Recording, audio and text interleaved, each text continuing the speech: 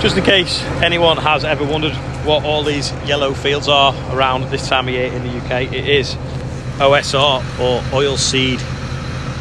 I won't say the last word because for some reason it's stupid. Uh, but it begins with R, ends in E, it's got a P in the middle as well, and an A. Um, yeah, so these yellow flowers will turn into little pods. One is just starting to form here. If you look, see that? That pod then will have little black seeds in it. Them little black seeds 50 odd percent of them will be oil. That you can cook food with or you can run your car off. So that is what all the yellow flowers are this time of year in the UK.